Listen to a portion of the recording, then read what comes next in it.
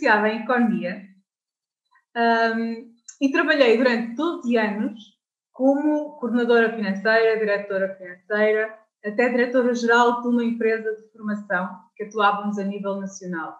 Portanto, praticamente desde que acabei a licenciatura estive ligada à formação profissional uh, de jovens e de adultos e também de formação para empresas, inter e intra-empresas. Isto foi a parte inicial do percurso e, portanto, ao fim mais ou menos de 10 anos, eu tenho a minha filha e as coisas começam a.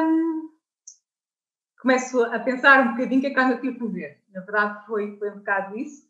Eu costumo dizer que aos 30 anos tinha tudo o que queria na minha vida. Tinha o emprego que sonhava, tinha a liberdade, tinha capacidade financeira, tinha uma série de coisas que queria, mas não tinha tempo. E acontecia-me sair de casa e a minha filha ficar a dormir e chegar a casa e a minha filha estar a dormir. e, e, isso começou-me a, a pesar um bocadinho. E nessa altura, coincidência ou não, eu decidi fazer uma formação em coaching, porque uh, as equipas comerciais eram cada vez maiores e eu achava que precisava ali de uma ferramenta que me ajudasse a lidar com aquela malta toda. Nós tínhamos cerca de 40 formadores, mais as equipas comerciais. Então eu fui fazer uma formação em coaching, mais uma ferramenta. Na verdade, aquilo que eu encontrei foram muitas perguntas sobre mim mesma, sobre o que é que eu andava a fazer, e isso levou-me a um processo uh, pessoal, é? de mudança pessoal. Comecei a questionar algumas coisas da minha vida, do que eu andava a fazer e do que é que era sobre tudo isto. O que é que é verdadeiramente importante para mim? Se me falhasse tudo, o que é que não podia falhar? E, e bati na família, não é? fui, na verdade, bati num dos meus maiores valores, um dos meus maiores pilares, que é a família, e percebi que, um, que eu não estava a fazer um caminho que me deixasse muito feliz, porque eu tinha tudo, mas eu não era feliz. Então, ao fim mais ou menos de um ano e meio de entrar neste processo, despedi. Deixei, não fazia a mínima ideia do que é que ia fazer. eu, só sabia que não queria aquilo. Isso eu sabia. Eu não quero mais isto. Um, e, portanto, vamos, vamos, vamos lá ver o que, é que, é que a vida me reserva. E, portanto, deixei tudo para trás e estive mais ou menos um ano praticamente parada, a gozar a minha filha, que na altura estava com dois anos. E, e pronto, e fui ficando por, por, por casa. Fui, entretanto, houve pessoas que me foram uh, contactando, sabiam que eu estava por casa e eu fazia candidaturas aos fundos comunitários, fazia gestão de processos de deserto, uma série de coisas e fui trabalhando.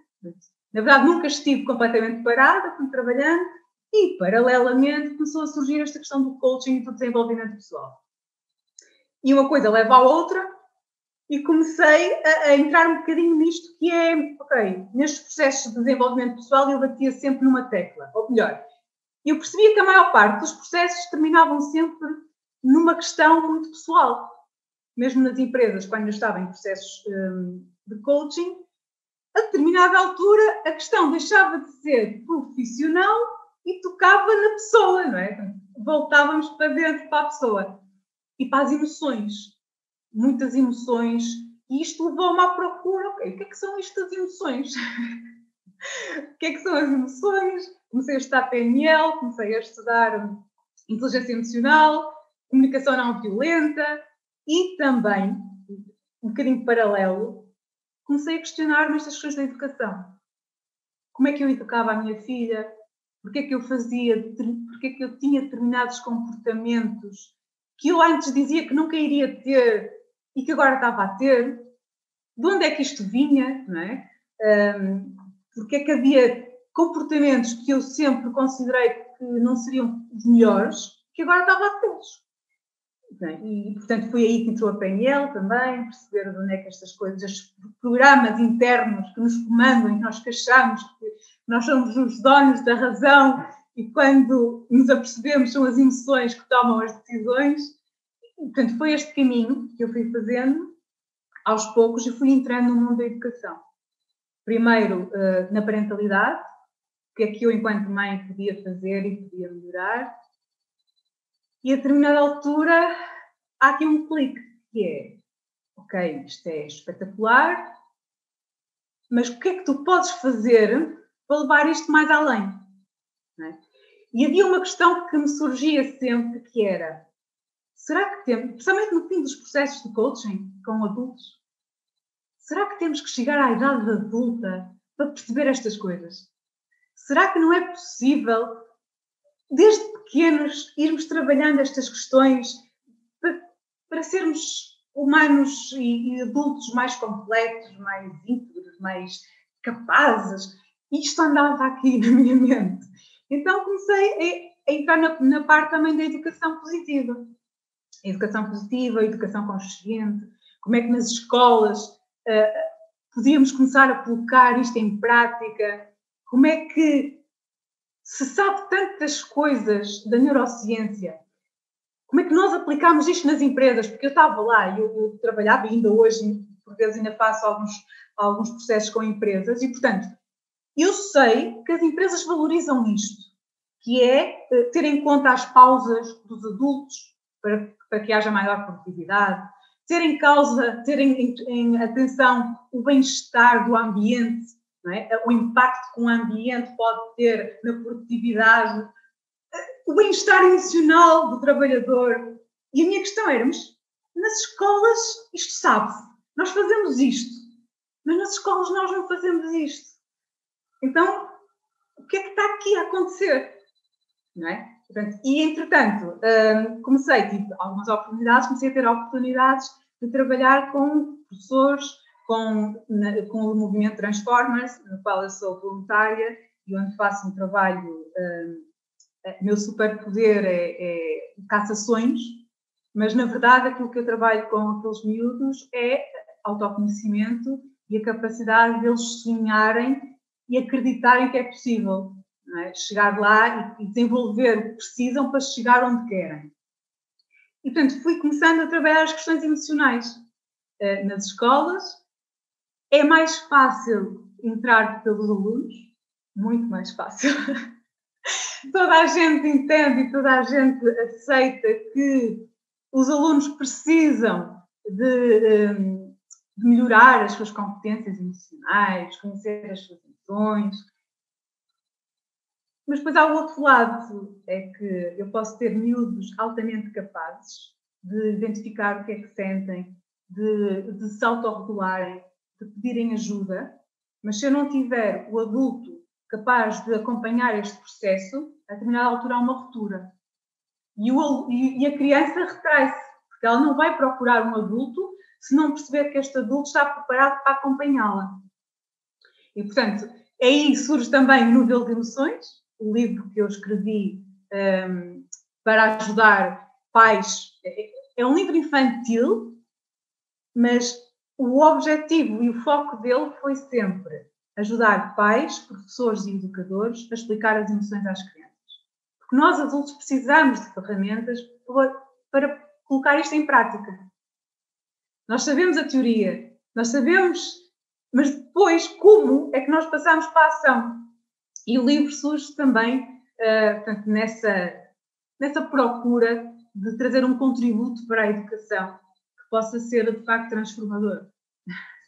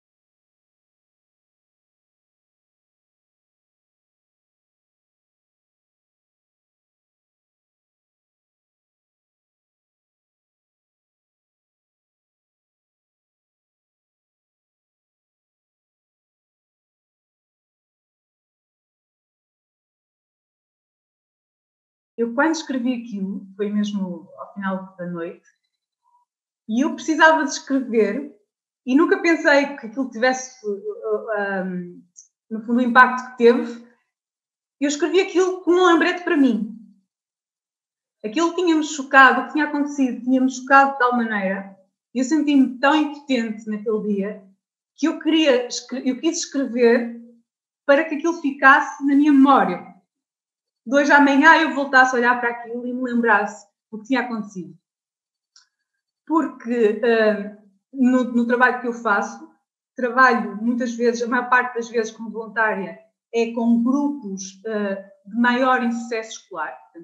É, é a turma de maior insucesso escolar da escola onde nós estamos a intervir, que é, a, a, que é um, integrada neste programa. Portanto, nós temos, eu tenho perante mim miúdos que estão desacreditados deles próprios. Ou, melhor ainda, estão acreditados, porque eles acreditam que são algo que ao longo da vida lhes foram dizendo que, é, eles eram. No sentido de que são arroceiros, portam-se mal, hum, já por norma vão sempre para, ao conselho para ser chamados a atenção. Uh, isto é algo que, aconteça o que acontecer, eles sabem. Uh, tu não me mandas embora. eles às vezes Tu não, não, isso, é o que tu, isso é o que tu estás. Isso é o que te acontece. Isso é o que tu queres que eu te faça. Mas eu sei que tu és melhor do que esse teu comportamento. E, portanto, eu não te vou mandar para a rua. E, normalmente, eu tenho sempre um acordo com eles, com estas turmas, que é só há uma regra nas minhas aulas. E a regra que há é respeito. Eu prometo respeitá-los. Comprometo-me a respeitá-los. E, em troca, quero respeito só. Tudo é possível, eu vou-vos ouvir, não há julgamento da minha parte, eu não quero saber quem vocês foram ou deixaram de ser. Eu quero saber quem é o miúdo que está aqui à minha frente, hoje, aqui e agora. Eu não vou julgar-vos por nada que vocês já tenham feito e quero respeito. Só. E tinha acontecido nesse dia uma dinâmica em que estava a ser muito difícil eu conseguir chegar a eles. não estava a ser fácil, porque quando começámos a entrar em questões que, uh, que invadem o, aquilo que eles consideram que é a área deles, eles muitas vezes fecham-se, eles não deixam, eles não permitem. E eu estava a ter alguma dificuldade com alguns em conseguir quebrar essa barreira. E de repente foi mágico. Foi mágico como é que. Uh, e normalmente isto acontece sempre com aqueles miúdos que são os piores, porque de repente ele, a minha, minha questão era um, qual é o lugar deles no mundo neste momento? Como é que eles se viam no mundo? Qual era o lugar deles? E isto é uma questão que, que é difícil para eles trabalhar. Eles não sabem qual é o lugar deles no mundo. Então eu dizia-lhes: então como é que tu te sentes neste mundo?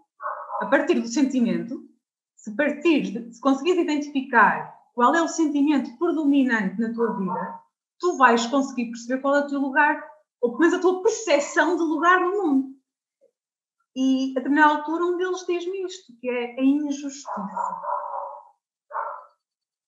E portanto, e a injustiça de quê? De se sentirem, de não se sentirem vistos. A opinião não conta. O que é importante, uh, não importa se eu hoje estou mal, porque eu porto-me mal, se eu hoje respondi mal é porque eu sou assim.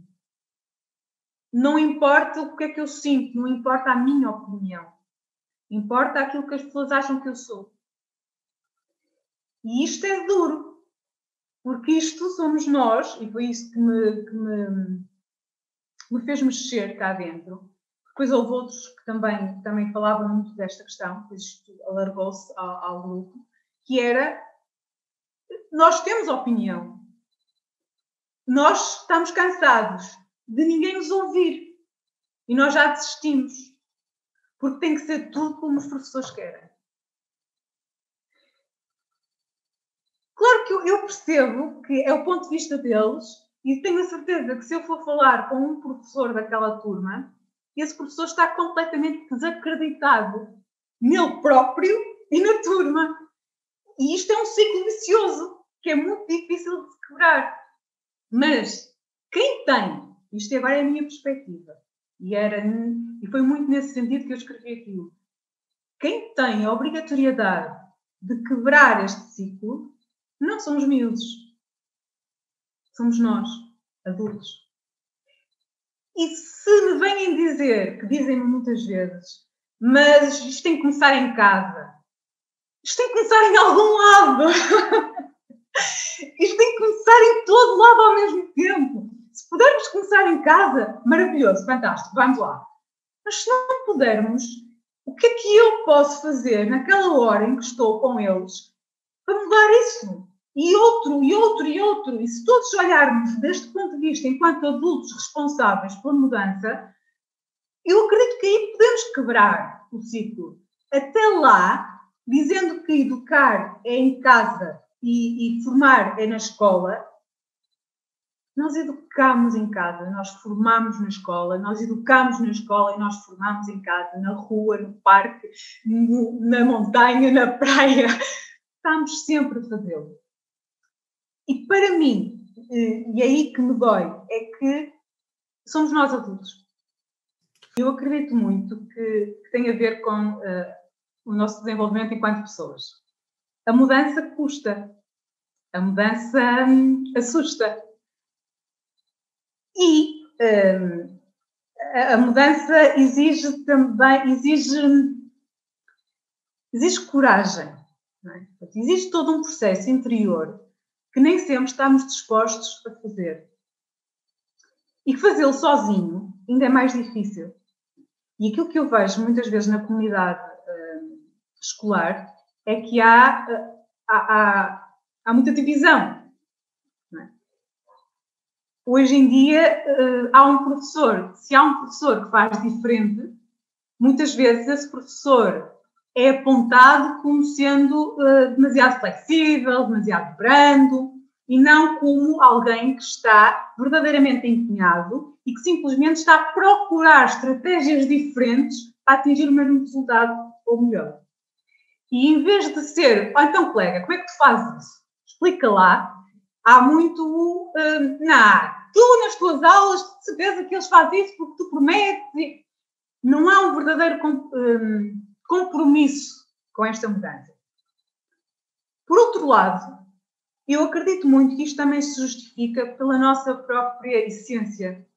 E a neurociência também nos mostra aqui algumas, pode nos deixar aqui algumas pistas, que têm muitas vezes a ver com aquilo que é o nosso registro. Se nós pensarmos, os professores, tal como nós, não é? Mas eu já saí da escola de formato tradicional há alguns anos. Mas os professores são formados tal como nós, durante 20 anos, 25 anos, num determinado sistema, e depois continuam nesse sistema. O que torna muito difícil a inovação. Porque o sistema, ele, ele, ele fica integrado em nós. E o que é que acontece? Por exemplo, nós sabemos pela neurociência que em situações eh, de stress, eu vou buscar comportamentos que estavam gravados em mim há muitos anos atrás. Ora, se eu estou numa escola sob pressão, com uma turma que uh, estão todos a falar ao mesmo tempo, a minha tendência natural será para ir buscar lá atrás um registro da minha infância, muito provavelmente, em que alguém gritou, berrou e conseguiu impor uma ordem. Então o meu cérebro vai fazer esse caminho, porque ele não sabe outro.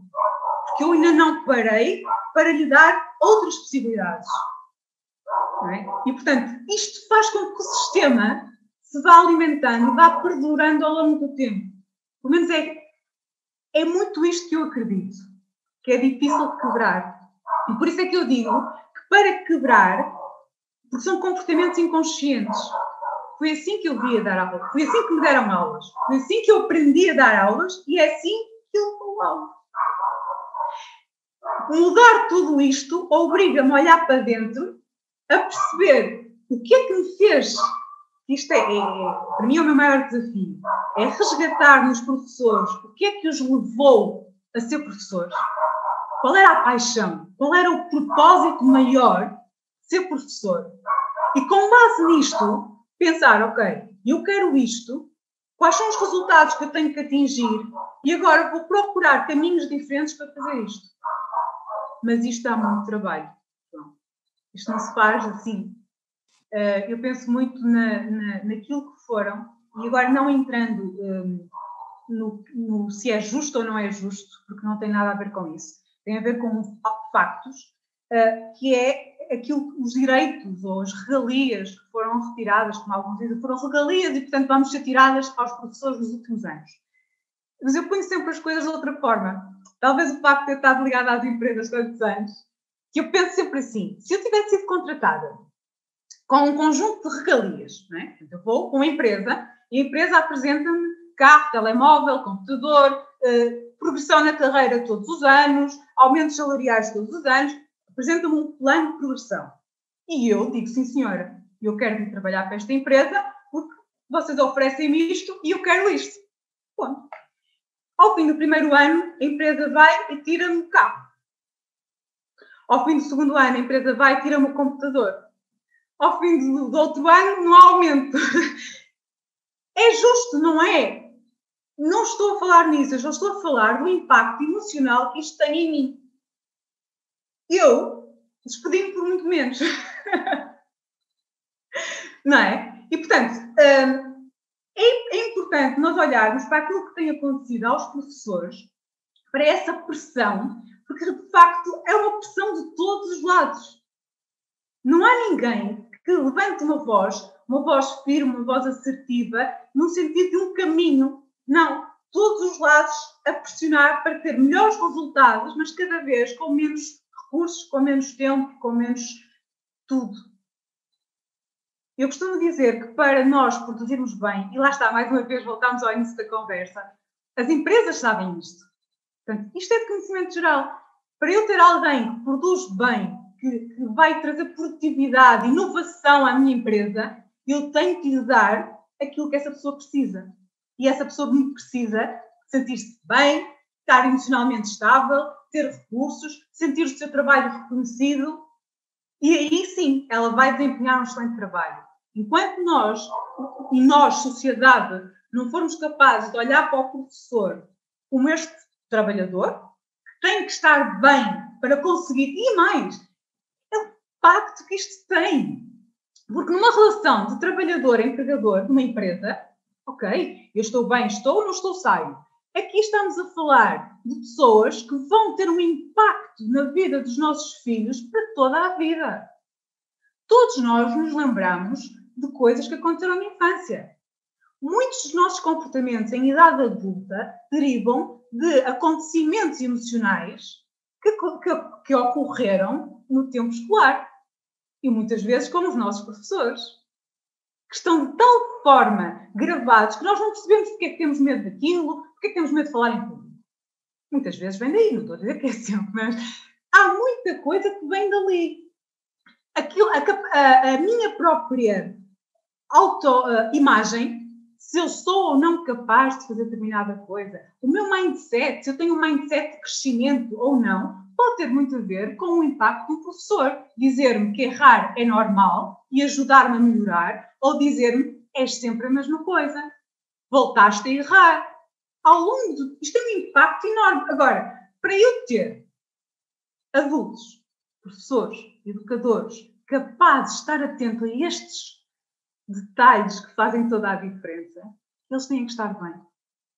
Eles têm que ser amados, eles têm que ser acolhidos, eles têm que ser respeitados, eles têm que sentir que são reconhecidos. Porque senão perdem-se nos papéis, na papelada. Eu penso muitas vezes nisso. Portanto, a minha filha está, no quarto ano, já com 9 anos. Um, no entanto, ela tem sorte, porque uh, ela, a forma da aprendizagem dela é por projeto. É por projeto e partindo do interesse uh, daquilo que é uh, o interesse da criança. E, apesar de, e eu tenho, eu posso falar porque eu vejo isto a acontecer, apesar de, por vezes, a aprendizagem parecer que é mais lenta, porque o resultado não é imediato, vai-se fazendo mais gradual, a verdade é que o impacto a longo prazo é maior, é muito grande, é muito grande. E há uma diferença abismal naquilo que é a motivação para fazer o que tem que ser feito. E isto transforma tudo. Porque a partir do momento em que uh, uma criança vai aprender a ler a partir do que é o espaço, por exemplo, porque eu recordo que a minha filha sempre teve uma paixão pelo espaço e tudo que era projetos, aliás, eu acho que o primeiro projeto que ela fez foi uma receita de culinária sobre um bolo que era o bolo das fadas. E foi incrível como é que ela, ela na altura já, já sabia ler, mas como é que ela aprendeu as medidas de capacidade através de fazer, da receita do bolo. Foi introduzido as medidas de capacidade ao fazer o bolo. E, portanto, e há uma série, ela aprendeu aquilo e ficou. ficou para sempre. É incrível como é que às vezes estamos aqui a fazer algum, algum pensamento e eu, esta medida e ela, ah, eu lembro-me. E vai buscar aquela memória de fazer o bolo. E como é que era, como é que subia, qual era a unidade, qual era o. Ah, esta, isto existe. Agora, é importante passarmos isto para as escolas de forma alargada. A metodologia por projeto, já existe vários projetos piloto com excelentes resultados. E às vezes as pessoas dizem-me, no outro dia havia uma professora que me perguntava assim: Oh, mas isso é a brincar. Então, mas como é que eu vou dar português?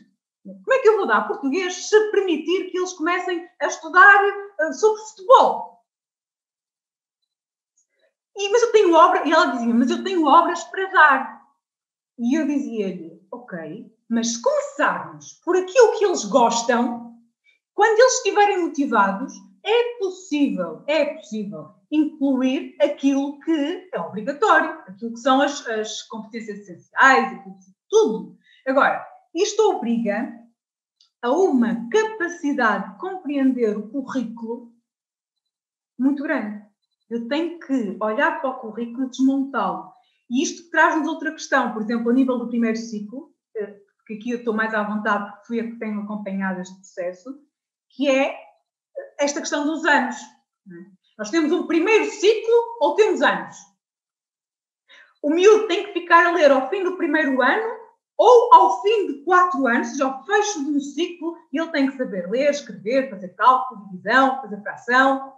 Ele tem que fazer isto no, no fim do ciclo ou no segundo ano, ou é no terceiro, não é? Porque se nós olharmos para o currículo olharmos para ele uh, de forma ano a ano, ele é pesado e é estanque. Parece que as coisas não estão ligadas, parece que não há. Mas se olharmos para ele como um ciclo e dermos à criança a possibilidade ao longo deste ciclo, porque nem sempre, e eu vi isto acontecer com a minha filha, havia questões no primeiro ano que ela tinha dificuldade em compreender, ficaram em stand-by e de repente, sem, sem acréscimo de trabalho, ao fim de um ano, um ano e meio, aquilo integrou. E a dificuldade que anteriormente existia deixou de existir. Porquê? Até pela questão cerebral. O cérebro dela evoluiu. A capacidade de abstração dela aumentou. Há uma série de características que não são desenvolvidas todas ao mesmo tempo e que, se forem em ciclos, permite fazer esta gestão. Uma gestão muito mais humanizada, muito mais integrada, muito mais significativa. Isto acontece. E isto é possível fazer-se para todos. Agora, tem que se mexer na avaliação. Eu acredito que talvez seja a avaliação o maior entrave de todos. Porque todo o sistema está orientado para a comparação. Portanto, tem que haver uma avaliação, porque nós temos que ter quadros de mérito, porque nós temos que ter uma nota para saber se a criança sabe, sabendo, e qualquer professor sabe, que muitas vezes o aluno sabe mais do que aquela nota. Nós tínhamos uma. Havia todo um contexto de informação que chegava até nós e, e, e havia essa curiosidade, não é? Onde é que isto fica? E, e havia sempre essa informação, onde é que as coisas aconteciam, o que é que tinha acontecido lá, Hoje em dia, eh, aquilo que eu, que eu me vou percebendo nas escolas, primeiro, eu recordo que muitas vezes também fazia isso, nos jornais, só lia as gordas, não é? Mas depois lá íamos olhando e hoje em dia ainda é pior, porque lê-se a gorda, não é? Primeiro é nas internet, é tudo na internet, lê-se o título e depois lê-se os comentários. Já não se lê a notícia. Portanto, ainda que ela seja informativa e ainda que ela tenha alguma qualidade, na maior parte das vezes não chega às pessoas. A maior parte, principalmente aos, miúdos, aos, aos jovens, aos miúdos, né? é o título e o que é que as pessoas disseram sobre aquilo. E quando pergunto, eu às vezes pergunto-lhes, um, então, e o que é que, por causa da, da pandemia, às vezes alguns vêm, com, vêm ter comigo e com notícias um bocadinho diferentes. O que é que, o que, é que tu achas disto? E eu pergunto-lhes sempre, então, e o que é que tu achas? Mas isso é o quê? E começo a fazer perguntas.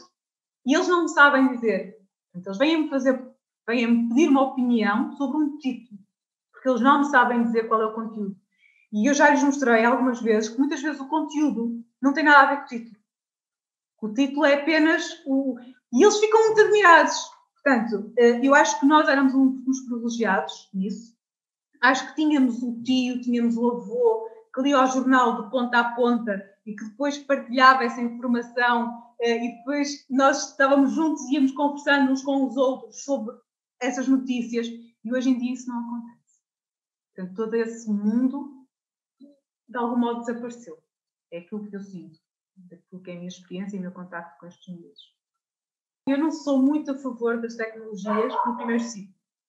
Eu acho que tem que haver uma idade para isso. Acho que. E há vários estudos que demonstram, que demonstram isso. Agora, há um conjunto de uh, atividades que, uh, que podem estar paralelas e que, de uma forma lúdica, lhes cria este pensamento, este mindset mais digital desde aquela programação da robótica, aqueles jogos cautos e essas coisas, que, é, que são coisas simples, mas que começam a desenvolver, logo de pequenos, esta capacidade de ver um bocadinho mais além.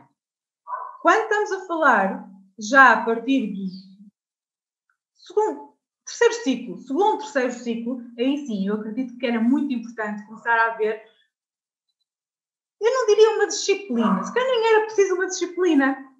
Se as coisas fossem uh, pensadas de forma integrada, em cada uma das disciplinas que existem, havia a possibilidade de se trabalhar competências de um mindset digital. Cidadania. Cidadania, ao mundo, é possível nós trabalharmos todo este mindset digital em cidadania. É possível desenvolvermos este mindset se ele fosse olhado de forma integrada nas várias disciplinas e nas várias componentes. Por exemplo, quando nós falamos uh, em numa, eu vou voltar à questão do, do, do projeto, não é? A aprendizagem do projeto. É muito fácil colocar estes conteúdos num, num projeto. Quando eu estou e, e trabalhar o português, trabalhar outras questões, a ética, a moral, a filosofia, é? o pensamento crítico, trazer estas questões para a sala de aula, dá um, dá um texto expositivo, dá um texto, dá para trabalhar uma série de componentes. Agora, mais uma vez, voltamos à questão do adulto. O adulto tem que ter competências e capacidade para trabalhar isto. Porque eu só posso dar aquilo que eu tenho. Ou pelo menos, eu posso não saber as respostas todas, porque eu não preciso. Eu costumo dizer que o, o, uh, o professor de, deste novo século devia ser um professor coach, que é um professor que faz perguntas e acompanha o processo, mas não intervém naquilo que é o pensamento crítico da pessoa que o está a fazer. Ok, eu vou, eu estou aqui, e se estás a afastar daquilo que é, daquilo que são os princípios ou Ok, eu vou-te dar assim um jeitinho, eu vou-te ajudar. Mas deixar ir. E quando nós deixamos ir e lançamos questões que, que os obriguem a pensar sobre a pegada digital, sobre o que é que eu posso fazer isto, não devo, o que é que vai acontecer daqui a 10 anos? Isto, isto é aprendizagem significativa. Isto é ajudá-los a crescer com um novo mindset. Pelo menos é assim que eu vejo as coisas. Agora, eu para o fazer, eu preciso de aprender. No, no, nos Transformers, eu tenho, um, nós temos os superpoderes, mas existem, existe ali um conjunto de áreas que nós abordamos de uma forma transversal, não é? Portanto, vamos integrá-las e muitas vezes nem percebem muito bem, mas nós estamos a trabalhá-las. A cidadania, por exemplo, é uma delas, a sustentabilidade ambiental é outra. E eu confesso que eu tenho que ter formação para isso. Eu, no próximo sábado, vou estar a ter formação com a LIPOR para poder estar mais capacitada para poder fazer isto. Agora, também quem me dá esta, esta possibilidade são, é a própria organização. É o movimento Transformers, que sabe que quem está no terreno precisa de estar, um, ter ferramentas, ter recursos. Então, se eu tenho uma escola e eu tenho professores, alguém tem que pensar que estas pessoas precisam destes recursos e, ter, e dar-lhes esses recursos para que eles possam desenvolver esse trabalho. Isto é, é complicado. Quando, quando me dizias há bocado que havia um documento que é maravilhoso, que é futurista, a questão é essa, é que nós temos muitos documentos. E são documentos incríveis. E se nós conseguíssemos atingir sequer um terço do que está escrito, mudávamos. Quando nós apontamos o dedo aos miúdos e dizemos que eles são uh, irresponsáveis, que são isto, são aquilo, eu penso sempre nisso, que é o que é que eu estou a fazer para mudar isso. Porque quando eu entrar naquela terceira idade, vão ser eles que vão estar a, a comandar. Não é? E aquilo que eu lhes der agora vai ser o que eles me vão dar a mim. Ou pelo menos vão ter. Esse, é, é com base naquilo que eu lhes vou dar agora eles terão capacidade para dar uma resposta. E isto preocupa-me muito. E em relação ao jornalismo, e isto é uma opinião pessoal, como é óbvio, eu estou triste. estou triste, estou desiludida. Porque há muita opinião, cada vez mais, e eu não estou a falar de influencers e de opiniões de Facebook. Estou a falar de jornalismo. Estou a falar de televisão, estou a falar de jornais. Há muitas opiniões, mas muito pouca informação. E acho que nós não podemos viver num mundo de opiniões. É ótimo, eu sou a favor, e, e para mim, eu posso não concordar com o que dizes, mas vou defender até à morte o direito que terás de o dizer. Eu acredito muito nisto, porque para mim a liberdade é um, um valor, assim, dos meus valores principais. No entanto, nós temos de ter muito cuidado com a opinião quando estamos num papel de jornalistas, quando estamos num papel de professor, porque aquilo que nós dizemos tem muito impacto. E eu gostava muito que uh, a nossa classe jornalista uh, começasse a fazer mais informação, a dar, partilhar mais informação e menos opinião.